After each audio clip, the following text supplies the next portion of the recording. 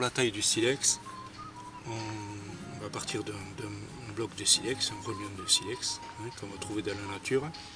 On va utiliser, euh, donc il y a plusieurs techniques. Hein. Le percuteur, au départ, on va utiliser le percuteur dur.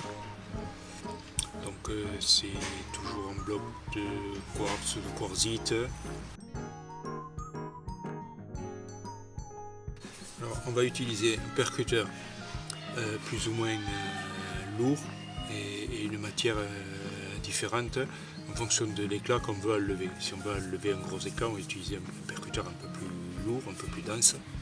Donc ici, on va essayer d'enlever un gros éclat. Donc avec le percuteur dur, on va enlever un éclat euh, épais,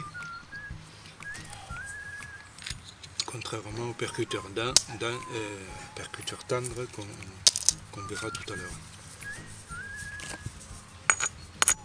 Avant de percuter, on va préparer le point d'impact de la, de la pièce. Donc,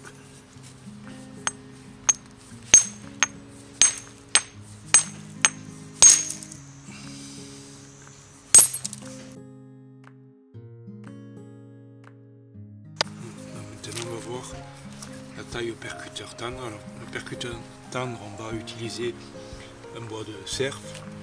L'idéal c'est le bois de renne, mais on n'en a pas. Euh, sinon un bois dur tel que le, buis, un morceau de buis.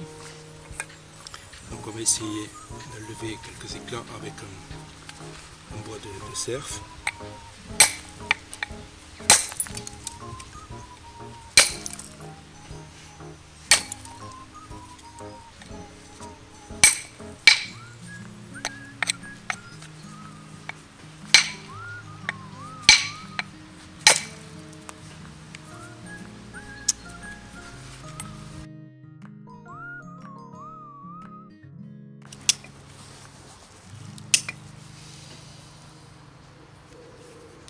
On va utiliser cette technique pour, euh, finir, euh, finir la pièce, finir l'outil.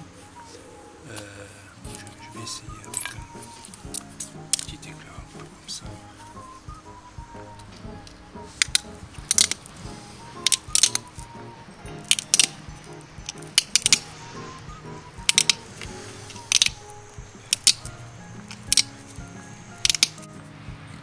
on va utiliser cette technique pour fabriquer des pointes de flèches par exemple euh, au paléolithique supérieur ou, au néolithique. donc euh, avec une pointe en cuivre, hein, c'est la même, la même technique. Hein.